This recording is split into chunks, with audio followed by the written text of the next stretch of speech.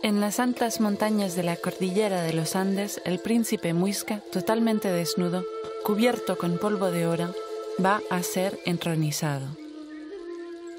Navega en una balsa que se aleja de las orillas. Alrededor suyo una parte de corte lo acompaña en la laguna de Guatavida. Los primeros resplandores del día aparecen. El soberano se lanza en el agua ofreciendo a Dios el oro que cubría su cuerpo. Al mismo tiempo, sus súbditos, que desvían la mirada por respeto al príncipe, tiran esmeraldas en el abismo. Así nació la leyenda del dorado.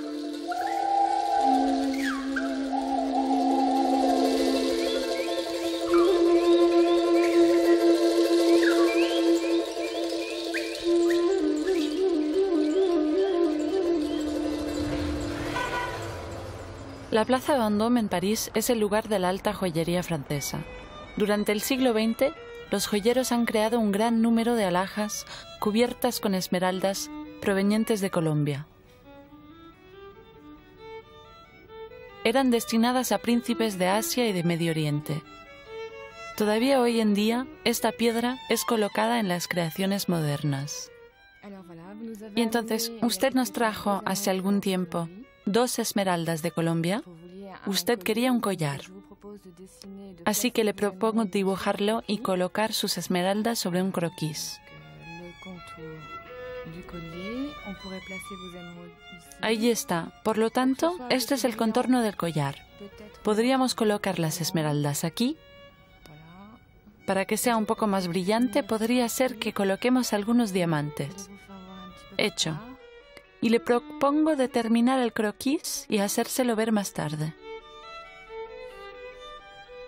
La esmeralda es una piedra preciosa de un verde profundo inigualable. Más allá de su valor comercial, ella simboliza la fuerza. Según la leyenda, el Santo Graal fue tallado en una esmeralda caída de casco de Satanás. Las más bellas vienen de Colombia. En el siglo XVI, los españoles desembarcan en este país poblado de indígenas. Fundan en 1533 la ciudad de Cartagena de Indias. Fueron erigidas sólidas murallas para protegerla y se convirtió en el puerto más importante del vasto imperio colonial español y la plaza más codiciada por los piratas y los corsarios. En efecto, las esmeraldas y el oro transitaban por esta ciudad portuaria del Caribe antes de llegar al Reino de España. Hoy en día, Colombia cuenta con alrededor de 36 millones de habitantes, de los que dos tercios viven en ciudades. La población colombiana es en gran parte mezcla entre los colonos españoles y los indígenas autóctonos.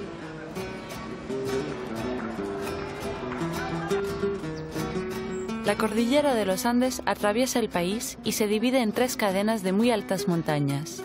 Hay zonas de intensa actividad volcánica. Algunas de estas regiones son ricas en esmeraldas. La totalidad de los yacimientos están situados en lo que viene llamada la Media Luna Verde, del departamento de Bocayá, al norte de Bogotá.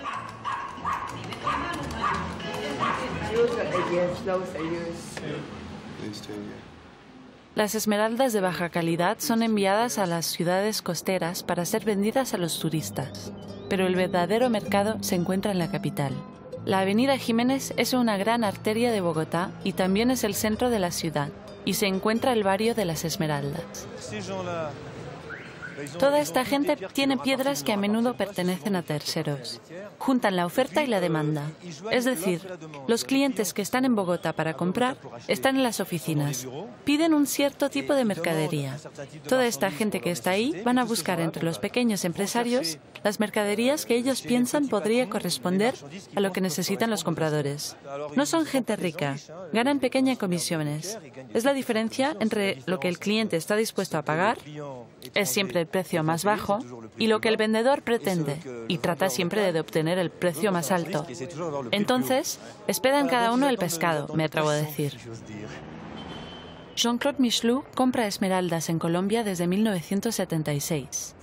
Él se codea todos los días con los intermediarios callejeros, llamado comisionistas, quienes hacen la unión entre la oferta y la demanda. Alrededor de 15 oficinas de cortaje constituyen la demanda internacional.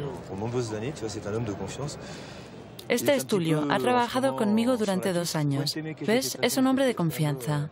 En este momento está un poco fuera del juego. Dime, ¿qué es lo que quieres hacer? Espero cobrar un cheque. ¿Cuánto tiempo estuviste en la mina? Tres días. ¡Qué pegada! Es muy barato, 200 dólares. Una ganga.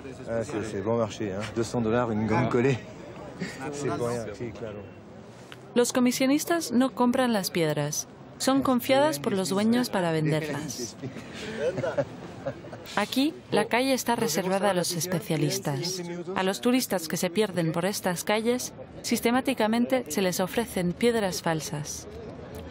Esta vez se trata de una camisa, es decir, una lámina fina de esmeralda pegada encima de vidrio y después tallada. Esta piedra vale apenas 5 dólares y se le ofrece a entre 500 y 1000 dólares. En América del Sur, la esmeralda tiene una relación estrecha con la religión y los objetos de culto. Es así que una pieza mayor del arte religioso colonial fue preservada desde el siglo XVIII.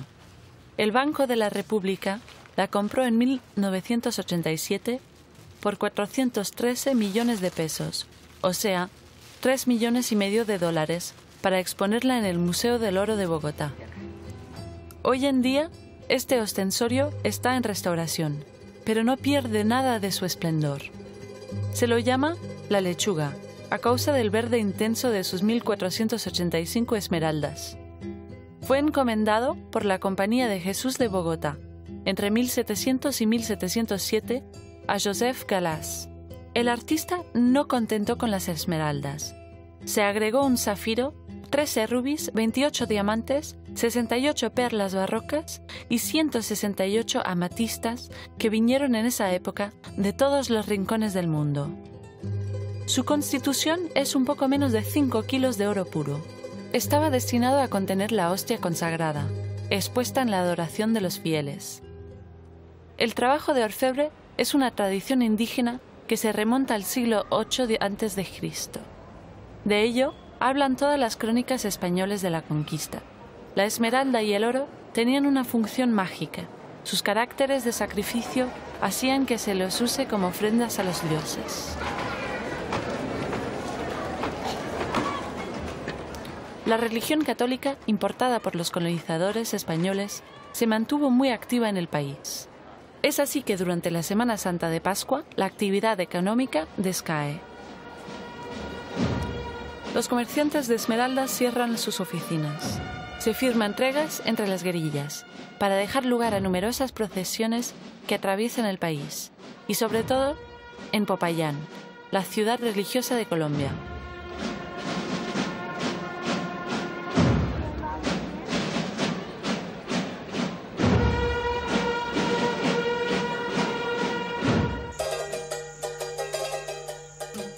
El corazón de la cordillera de los Andes, en agosto 1564, un colono español, de nombre Juan de Penagos, galopando sin aliento para escapar de los musos, terribles indios antropófagos, quienes eran buscadores de esmeraldas para comerciar con los españoles, se dio cuenta que su cabalgadura renqueaba. Se detuvo con peligro de vida para examinar los cascos de su caballo y plantado en medio de uno de ellos, descubrió una gema de un verde intenso. Acababa de descubrir las minas de Muzo. Vas a ver algo que muy poca gente ha visto. Aquí está Camillos, es el director de los trabajos de la mina y también es el representante de todos los socios. Hoy en día, la sociedad minera Coex Minas, donde Víctor Carranza es uno de los principales accionistas, explota la esmeralda con medios modernos. Es un descenso a los infiernos. Cada día los mineros se engullen en un agujero llamado clavada, de una profundidad de 286 metros. En el fondo, las galerías perpendiculares alcanzan a veces muchos centenares de metros. Ellas atraviesan la montaña a la casa de bolsillos de esmeralda. La temperatura llega al fondo del túnel a 45 grados centígrados. Esto es debido al gradiente geométrico que hace que la temperatura aumente progresivamente a medida que se desciende bajo tierra. A pesar de la ventilación, se respira mal. El polvo de los martillos neumáticos recubre la cara y el cuerpo de los mineros. Los hombres se quedan en el fondo durante ocho horas y se turnan con otros dos equipos. Las minas no se paran nunca. Hay que buscar la medianera. No se puede llevar mucho tiempo, según la zona. Es muy difícil. Es todo un arte encontrarla. Es duro, hay que sudar.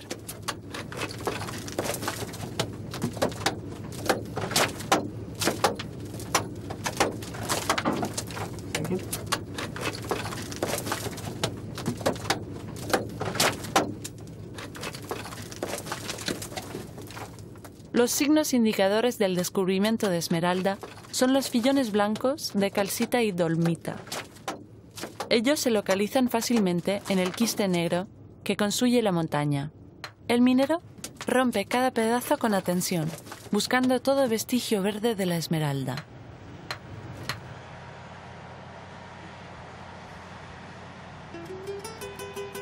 Hace 38 millones de años, fluidos salados han creado una solución en el berilio, que es el elemento de base de la esmeralda, como el cromo y el vanadio, que le dan su color verde.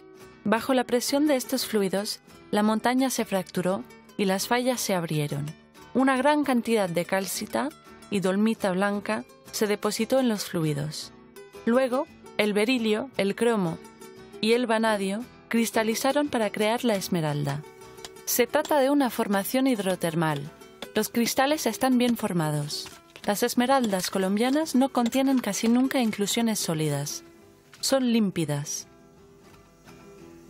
Siempre que se encuentra una veta, hay que Cada vez que encontramos una pared, debemos esperar al jefe antes de romper. Este puede ser el comienzo de una buena pared. No se sabe nunca dónde comienzan las paredes. por ejemplo, esta.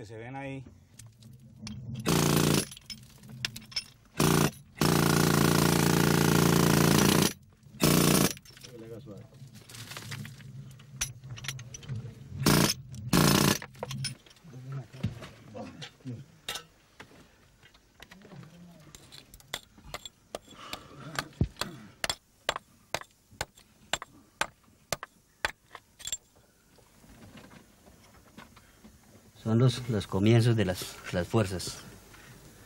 Entonces él llega a una zona compacta donde va a ver lo que es la calidad de la esmeralda. Aquí es el inicio de las zonas Son grandes- compactas. grandes Es fuerzas cuando se llega a las zonas compactas donde se ve la calidad de la esmeralda. En este momento salen grandes.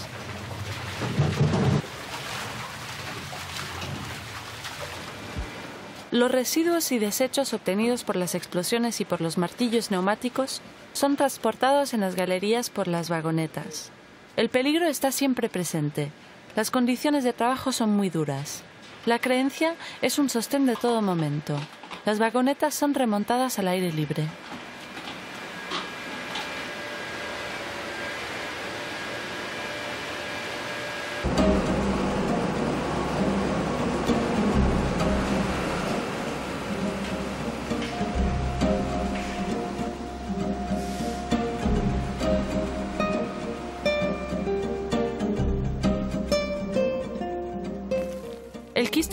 Considerado como estéril, se evacúa fuera de la explotación.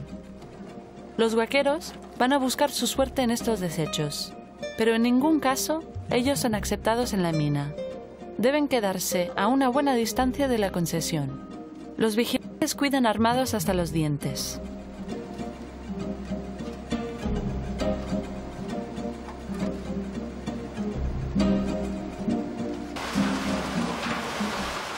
El resto del mineral, supuestamente rico, va a pasar por una cinta, donde bajo buena vigilancia los hombres van a seleccionar y recuperar las esmeraldas.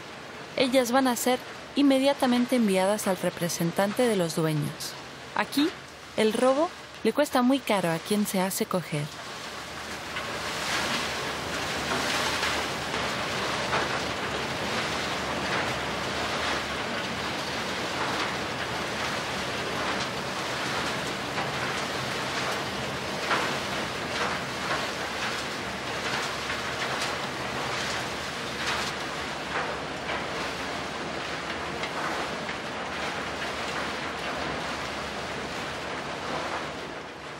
Un extremo de la correa, a través de una puerta trampa, comunica con el exterior de la mina. Solo algunas decenas de guaqueros están autorizados a recuperar estas basuras.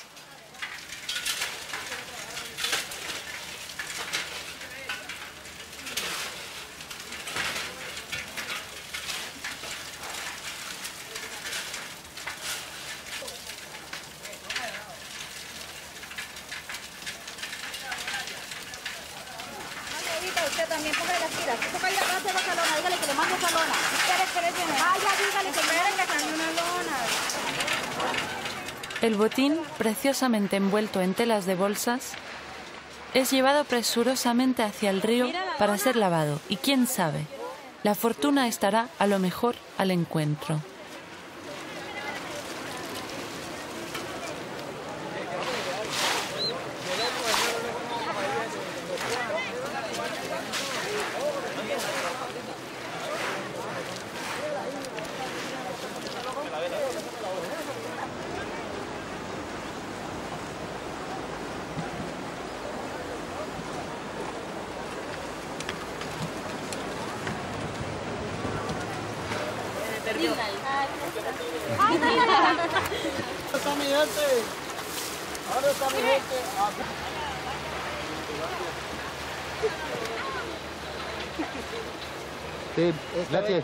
Esta pinta más bonito.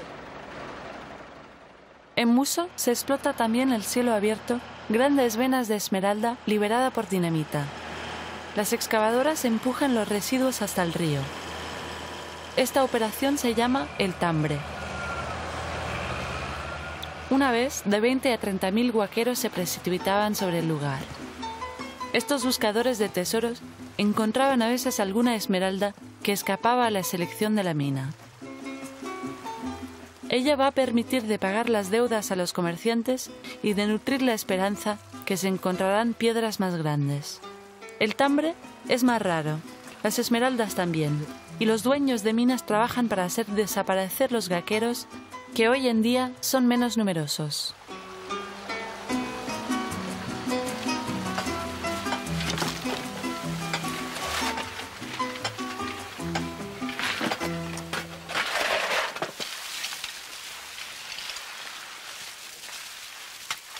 De cada excavación se busca y rebusca. Hay miles de metros cúbicos cada día para esta pobre gente.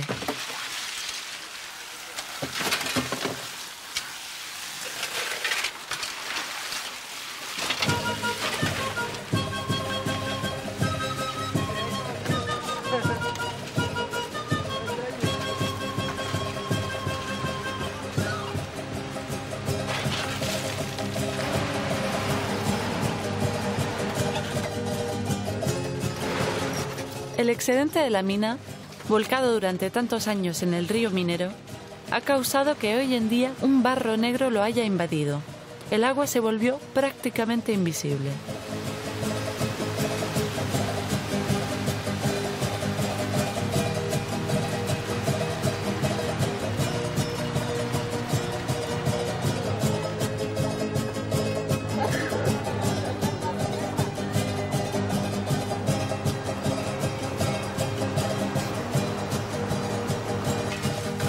La búsqueda de esmeralda toca a familias enteras.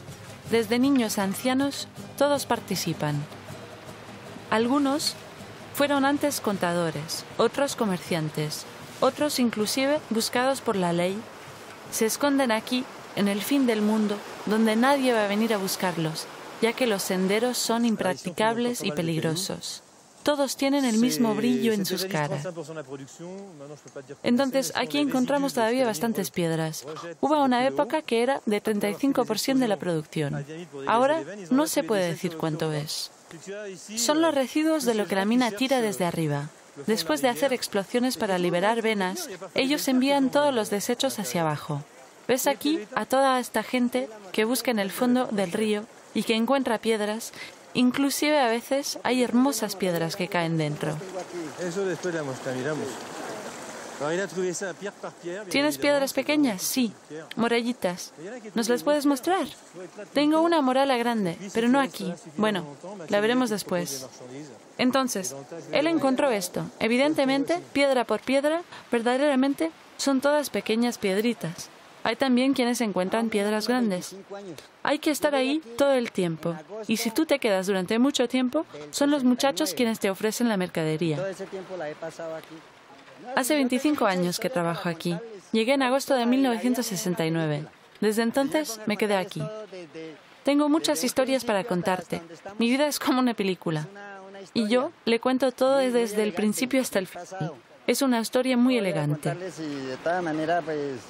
Las la piedras llegan desde allá, pero nosotros no podemos ir allí. Están los dueños. Lo que ellos no nos tiran, nosotros lo recuperamos. Hay siempre espaldas que aparecen. Lo que nos boten ahí para abajo, que baje. Y eso sale siempre esmeraldita por ahí. Claro que yo pues solo no vivo de esto porque yo pues... No vivo solo de eso. Así que cuando no encuentro suficientes esmeraldas, compro moralitas, menos caro, y las revendo. Me las arreglo cuando no encuentro, compro a bajo precio, porque en este momento no tengo mucho dinero. Pues estoy un poco corto de dinero, sí. Porque yo aquí hace unos añitos, pues como el cuento la mandaba duro, yo compraba... Hace algunos años yo compraba esmeraldas y las vendía, pero esto ha durado hasta que me robaron. Ahora estoy arruinado, pero tengo esperanzas para continuar adelante y estoy en tren de volver a empezar. Estoy volviendo a empezar de nuevo, a ver cómo... Esto es zona de allá donde viene, y aquí, aquí ha pintado en estas piedras, porque esta es la zona de arriba. Donde... Esta es la zona donde se rompe la esmeralda. Las esmeraldas llegan desde allá arriba.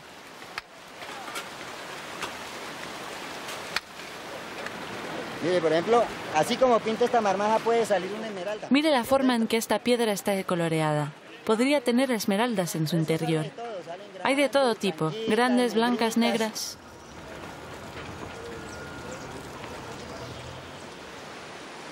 Ha estado muy pésimo el negocio, no... no- no En este momento el mercado está muy mal. No hay más compradores. 18, 15 Compramos mercadería y tenemos que esperar de 8 a 15 días antes de ganar algo. Si al menos ganamos bien. Todo esto para ganar muy poquito. Alguna vez es una ayuda.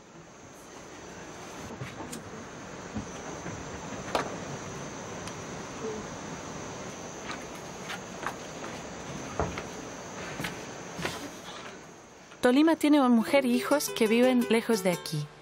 Su vida es simple. Trabaja 12 horas al día, desde el alba hasta la puesta del sol. A la noche, en su pieza acabada en la roca, no hay nada para hacer. De todas maneras, él está exhausto. A veces, Tolima empieza a murmurar. Esta es la enfermedad que me permite continuar, la fiebre verde. Y también está la Virgen, que me protege y me va a ayudar. Puede ser a encontrar una esmeralda hermosa. Esa que me va a permitirme de muso para siempre.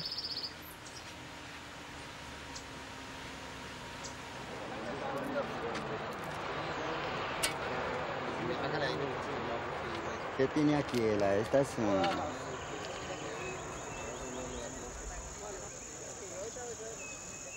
Cuando hay que vender viene uno... siempre Cuando hay que vender, aquí. venimos aquí. Es aquí donde nos reunimos. Es aquí donde las vendemos tres veces más cara. He invertido alrededor de una 150 mil pesos. 150 En consecuencia, trato de ahorrar este dinero, porque en este momento nadie compra, nadie hace ofertas para comprar. Ahora estoy en un apuro porque necesito dinero para mañana. Es necesario vender para poder dar este dinero mañana.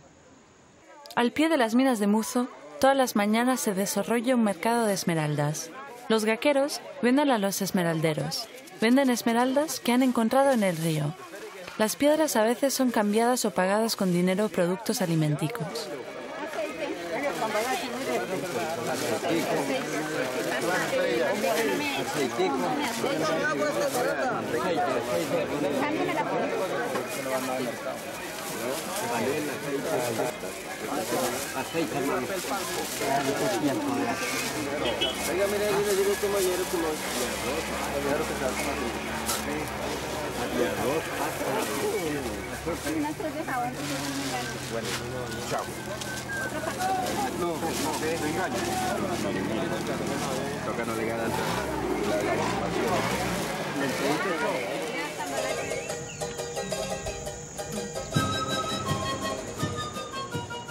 Del otro lado de la montaña se encuentra la mina Coscués, a 15 kilómetros a vuelo de paja.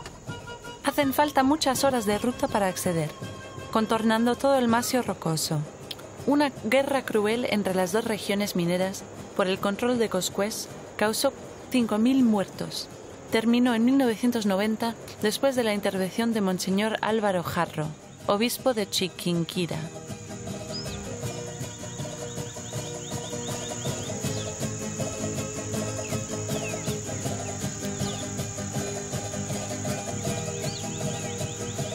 Mi nombre es Héctor Mi nombre es Héctor Gutiérrez Pavón. Soy el obispo de esta parte del departamento de Bocayá. Del departamento de Boyacá.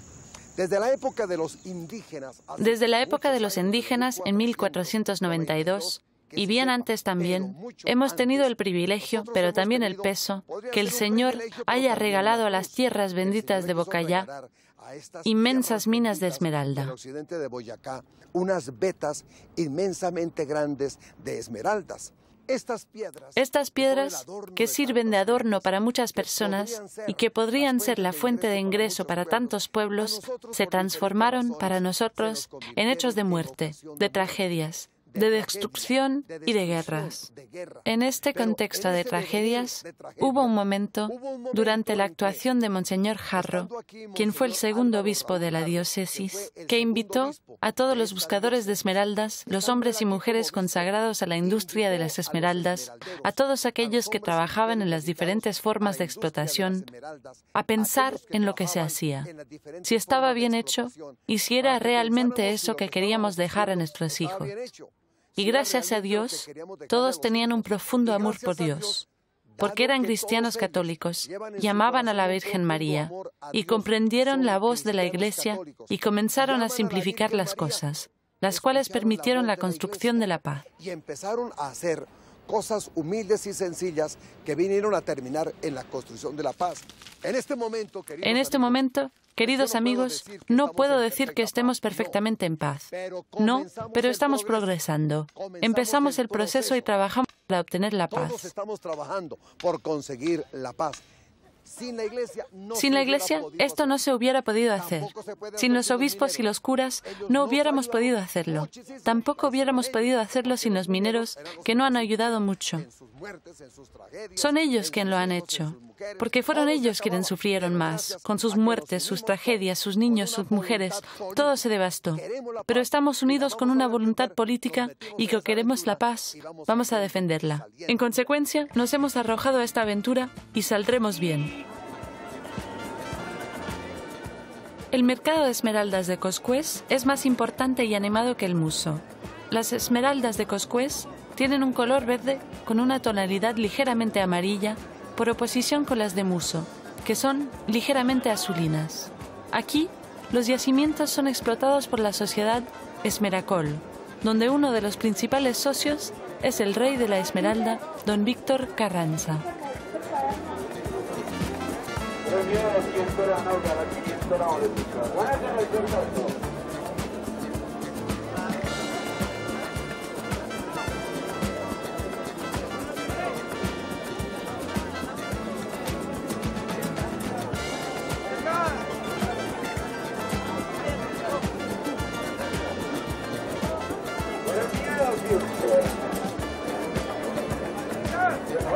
lo siento, mucha suerte a todos los que han comprado la boleta a 500 pesitos y ganan 200 mil pesos. Mucha suerte, van a ganar 200 mil efectivos por cero Pero más caídas que sí. No. ¿Quién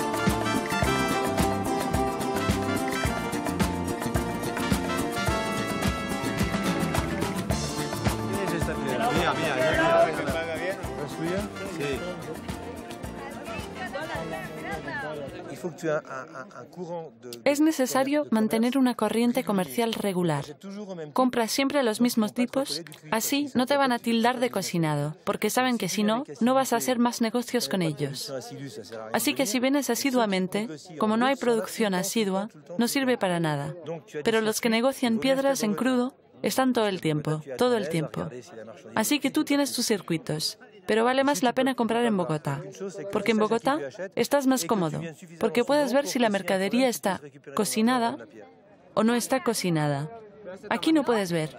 Hay una sola cosa, que es que tú sepas a quién compras y que vengas lo suficientemente a menudo, porque en caso que hubiera un problema, puedes recuperar tu dinero y revender la piedra.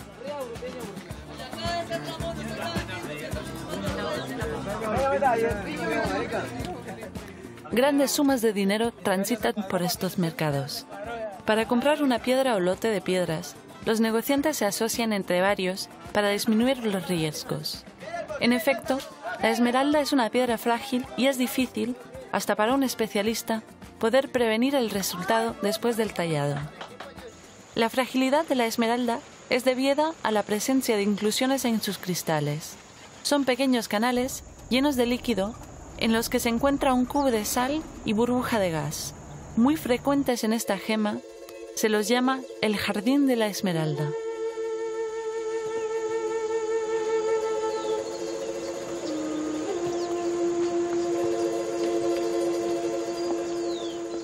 En todos los niveles en la actividad relacionada de la esmeralda, tanto los mineros como los grandes dueños son muy supersticiosos y creyentes. Colombia está hecha de una extraña mezcla de tradiciones indígenas y católicas. Marlene es comisionista. Ella vende esmeraldas. Su trabajo es estresante y peligroso. No sabe jamás cómo va a ser mañana. Y por este motivo va regularmente a una taita. Es una especie de shaman de la etnia de los gambianos, quienes predicen el futuro y curan el cuerpo y el espíritu. Para esto, utiliza plantas de las montañas de los alrededores de Popayán. Puedo ayudarte dándote plantas, plantas y bebidas. Ellas te van a purificar durante la noche.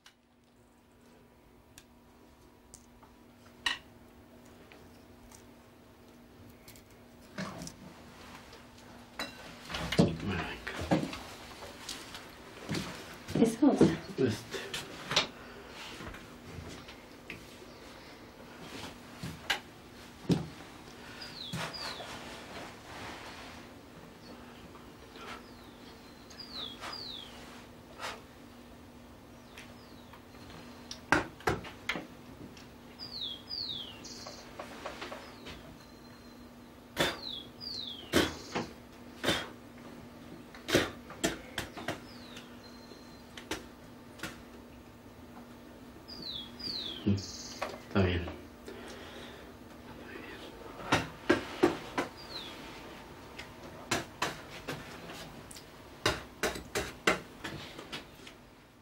Los habitantes de Muzo aman contar la leyenda de los orígenes de la Esmeralda. Fuma fue una bella princesa y Tena era su marido. Vivían en paz hasta que Sarve, la encarnación del mal, sedujo a la bella. Su príncipe murió de tristeza. La princesa, llena de remordimientos, lloró día y noche. Los dioses, enternecidos, hicieron brotar de las entrañas de la tierra dos montañas en memoria de la pareja. En cuanto a Sarve, él fue transformado en río, el famoso río minero, quien separa para siempre a Fuma y Tena. Las lágrimas de la inconsolable princesa se transformaron en esmeraldas.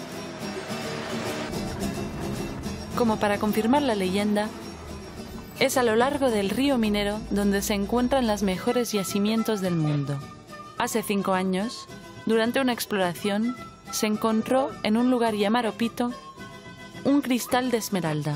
Después de enormes inversiones en perforación y construcción, la mina provee desde hace dos años el 55% de la producción de esmeraldas de Colombia. Tenemos aquí, en este Aquí tenemos una piedra extraída de las minas de la Pita. Tiene alrededor de 20 quilates y cuesta unos 5 millones. aproximadamente tiene 20 quilates y tiene un costo aproximado de 5 millones. Esta es una mina que hace más o menos... Hace ya 5 a 7 años que la mina comenzó a ser explotada. Hace dos años que comenzó a producir. Comenzó la producción. Las producciones, Las producciones no son continuas, son esporádicas, pero hay buenas producciones.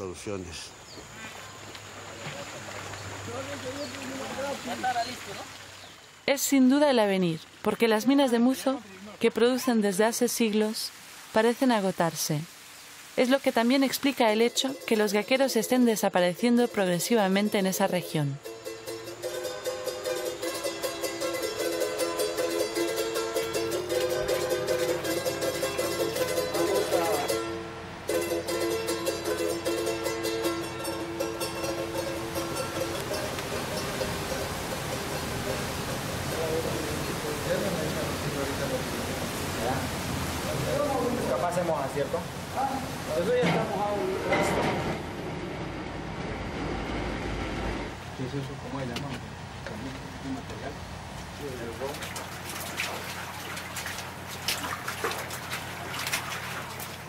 Esta es una mina muy reciente.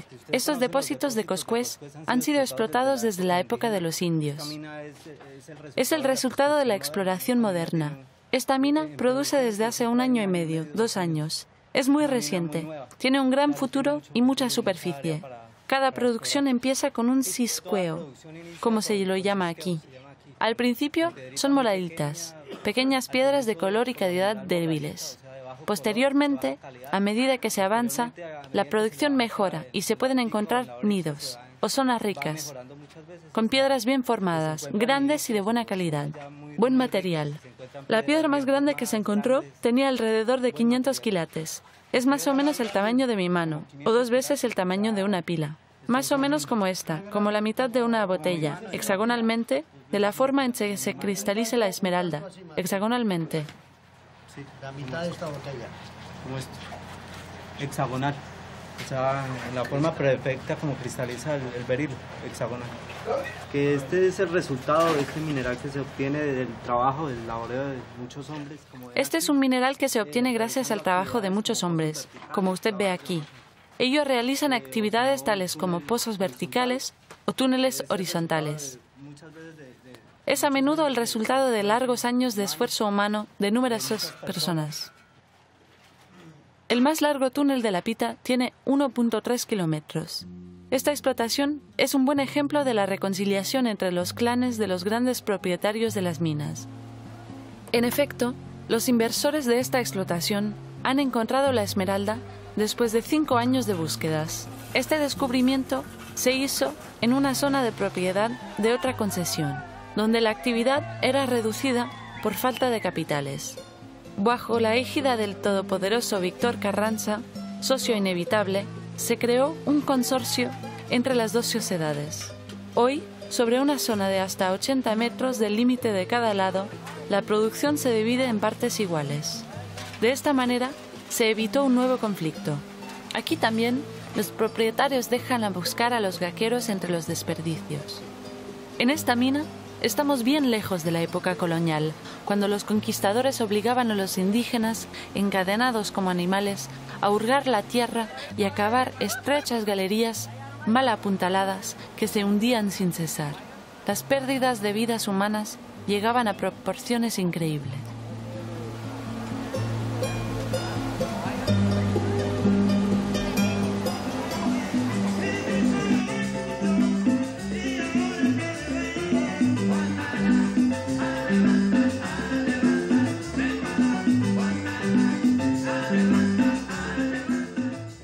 La mayor parte de las esmeraldas en crudo se encuentran en Bogotá. Los colombianos, a pesar de tantos años de guerra interna, mantienen sus tradiciones y su alegría de vivir. Muy a menudo, la salsa les hace olvidar los peligros cotidianos. Bogotá, fundada en 1538, es una de las capitales más altas del mundo, 2.800 metros de altitud. Está rodeada por la cordillera de los Andes. Esta ciudad funciona como una bolsa abierta de la esmeralda. Prácticamente ninguna oficina mantiene un stock de esmeraldas.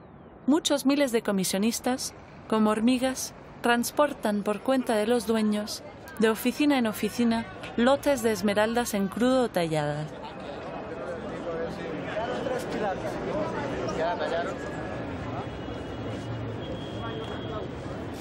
¿Qué tienes? ¿Tiene mercancía? ¿Tiene mercadería? Ah, pues ahorita está bien.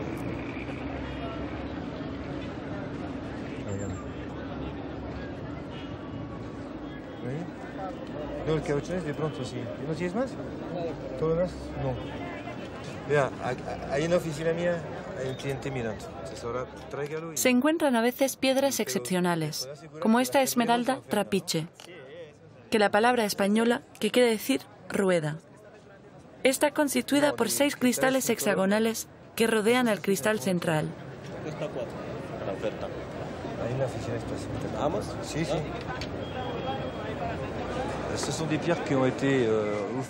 Mine. Hay piedras que fueron arrancadas en la mina o encontradas en los ríos, abajo y fuera de la mina, y fueron talladas. Entonces, los dueños tienen una piedra, dos piedras, cinco piedras, un pequeño lote.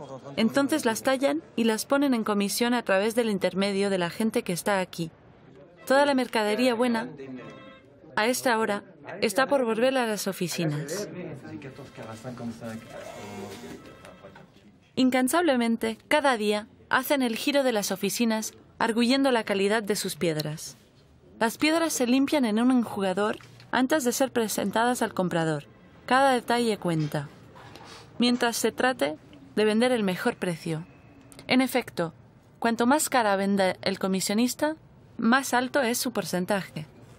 Contrariamente, la selección deberá ser hecha con minucidad. Jean-Claude Michelou lo sabe. El más, el más mínimo error de apreciación sobre la evaluación de una piedra puede costarle muy caro.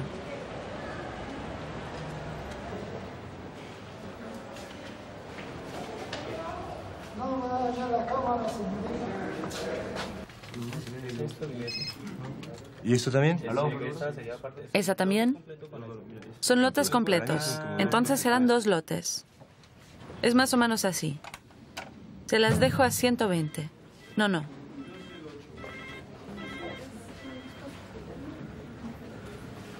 ¿Qué pasa? Bueno, estamos cerquita. Por ahora 120.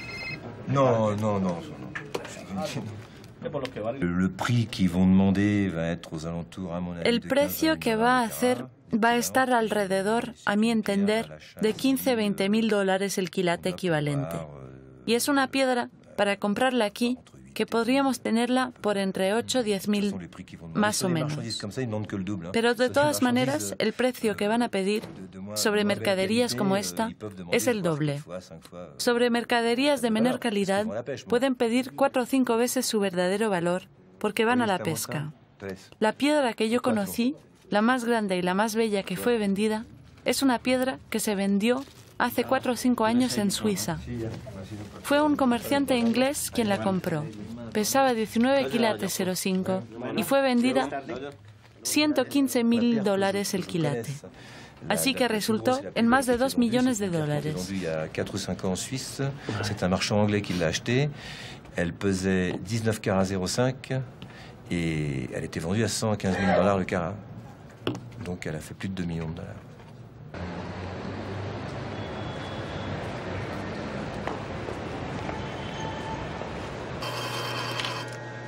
Aquí hay que ser conocido. La confianza es de rigor, aunque a menudo se paga al contado. El mundo de las piedras es muy cerrado, no se tolera ninguna desviación. Tallar una esmeralda es una ocupación para especialistas. Una piedra muy frágil. El corte, llamado esmeralda, ha sido concebido para utilizar la máxima cantidad posible del material del cristal, sin ángulos agudos, a fin de evitar que la piedra se lesione por un golpe. La esmeralda es una piedra dura, 8 según la escala de MOHS, donde el diamante es de 10. Una reciente técnica puesta a punto por investigadores franceses ha permitido determinar el origen geográfico de las esmeraldas. Como resultado, una esmeralda Eh, en crudo, rescatada del galeón español Nuestra Señora de Atocha, que naufragó en 1622 al largo de la Florida, proviene sin duda de las minas de Muso. El tallo de la esmeralda se divide en siete etapas. La primera es el corte, la reducción de volumen. Es la base para tallar la piedra. Una vez que se corta la piedra, sus características quedan en evidencia. Enseguida, se hace brillar y se encola. En este momento estamos en la etapa en darle una forma. La forma dependerá del lugar donde se coloca la piedra. De esta manera se le pueden dar muchas formas. En forma de lágrima, cuadrada, hay aquellas en forma de corazón u ovalda.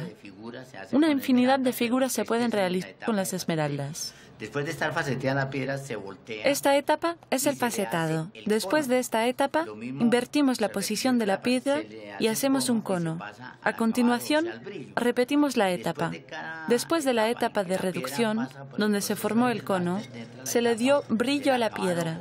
Una vez que la cara y el cono brillan, se pasa a la etapa de la limpieza. Entran a una etapa de limpieza. En esta etapa se le hace una limpieza general a base de ácidos y de aceites para darle más pureza. pureza.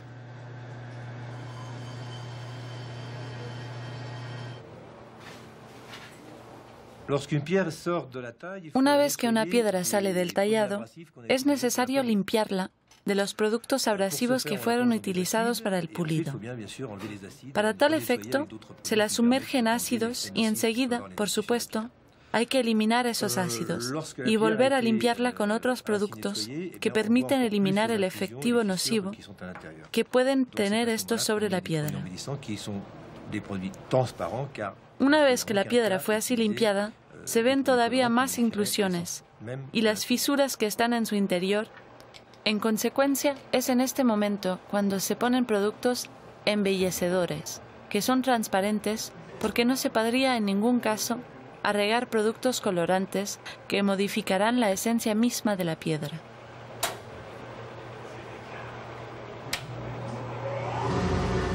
La pureza de una esmeralda puede ser afectada por inclusiones cristalinas o por fracturas, muy generalizadas en las esmeraldas colombianas. Cuando la luz penetra, ésta se refleja sobre la fractura como sobre un espejo. Llenar el interior de estas fracturas con una sustancia, con un índice de refracción cercano a la esmeralda, permite que éstas desaparezcan en parte. Se puede utilizar muchas técnicas. Aparte de la más antigua, el aceite natural, existen aceites sintéticos. Se utilizan resinas artificiales y epóxidos, que son difíciles de eliminar de la piedra y que envejecen mal. Con el tiempo, algunos de estos productos pierden su transparencia, lo que afecta el brillo y el color de la esmeralda, volviéndola nebulosa y lechosa, y hasta puede hacer que la piedra sea muy sensible al calor y a los golpes. La mayor parte de estas sustancias se infiltran en la esmeralda bajo presión y al vasillo. Se las calienta para bajar su viscosidad, en consecuencia, facilitar la penetración de las fracturas. Hoy en día, los medios de investigación perfeccionados permiten, en la mayor parte de los casos, determinar si una esmeralda fue embellecida y sobre todo por cuál sustancia. Las piedras excepcionales son extremadamente raras y llegan a precios muy altos. Ellas no contienen ninguna sustancia de relleno. Ver piedras excepcionales no es tarea fácil en Colombia. Solamente los grandes patrones las poseen y las venden parsimoniosamente a algunos compradores en el mundo.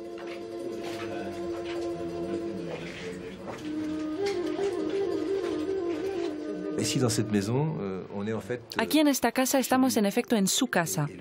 Es la casa de Víctor Carranza, quien hoy no nos puede recibir porque está momentáneamente bajo arresto. Y es él quien, por supuesto, controla todas las minas de Colombia. Así que es aquí donde se pueden ver las piedras más bellas. Yo he conseguido que podamos mostrar especímenes excepcionales que no van a tardar en llegar. ¿Cómo le va? ¿Cómo está Gilberto? Gilberto Rincón. ¿Cómo está Luis Eduardo?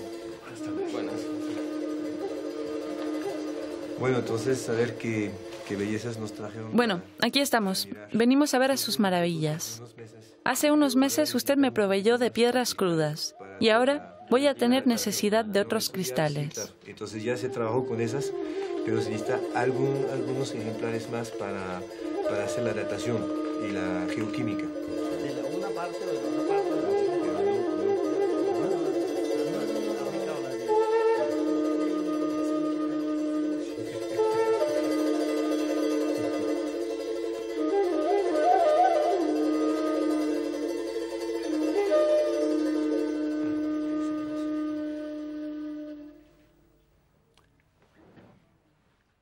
engastador y el joyero, en el momento de montar una esmeralda, tienen a menudo la garganta seca.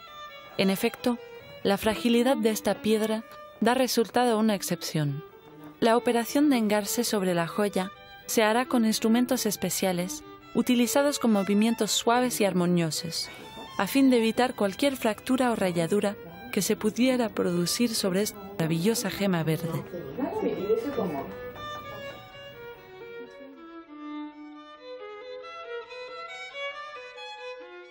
La leyenda de la laguna de Guatavita ha embrujado y hecho soñar durante siglos a los conquistadores y aventureros de todo tipo. Intentaron poner las manos sobre el tesoro engullido, algunos perforaron la montaña misma, para secar el lago, pero en vano. Otros se zambulleron, pero no llegaron jamás al fondo. Hasta hoy, nadie ha encontrado las fabulosas esmeraldas del Dorado.